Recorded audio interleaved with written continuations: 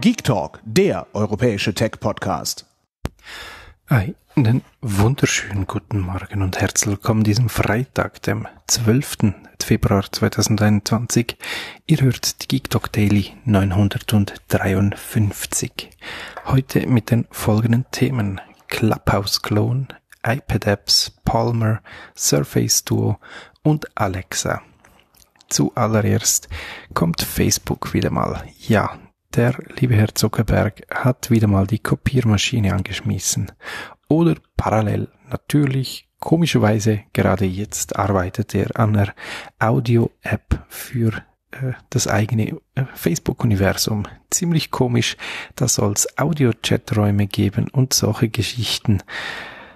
Ja, ähm, verwundert eigentlich nichts mehr bei Facebook, nachdem sie die Stories von Snapchat geklaut haben, die Reels oder nee, die die TikToks in Reels gemacht haben und so weiter, kommt jetzt halt das nächste und das ist wie gesagt ein Clubhouse-Klon. Weiter geht's mit Neuigkeiten aus dem Hause Apple für Entwickler bringen sie nämlich neue Workshops online.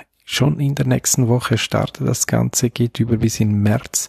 Da werden ein, ähm, einzelne Entwickler eingeladen zu kleinen Meetings, kleinen Workshops, wo ihnen gezeigt wird, wie man eben äh, die iPad-Apps auf den Mac bringen kann. Ähnliches haben sie im letzten Jahr schon gemacht, oder besser gesagt Anfang des Jahres. Ich weiß nicht mehr genau, wann es war. Damals ging es um Widgets, um App-Clips und eben auch äh, ein bisschen im kleineren Rahmen auch um iPad-App-Portierungen.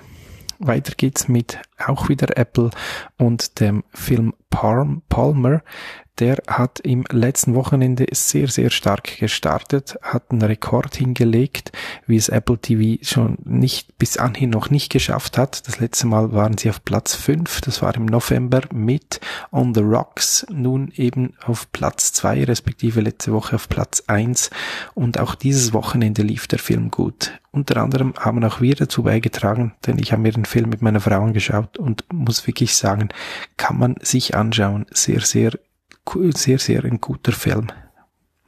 Auch wenn es eine traurige Geschichte ist. Dann gibt's Neuigkeiten für alle Menschen, die in Deutschland wohnen und schon lange ein Surface Duo kaufen wollten. Ab dem 18. Februar ist das möglich. Preise und alles andere könnt ihr nachlesen auf daily.tiktok.ch in den Show Notes und im Podcatcher eures Vertrauens ist ein Link drin. Bei 1549 Euro beginnt's und alles andere geht's dann noch oben drauf.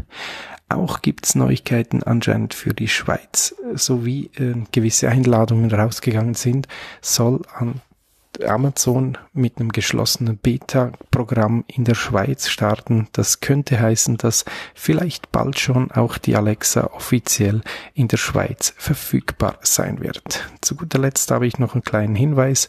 In unserem großen Mutterformat, dem Geek Talk, ist eine neue Newsfolge rausgefallen, die 0721.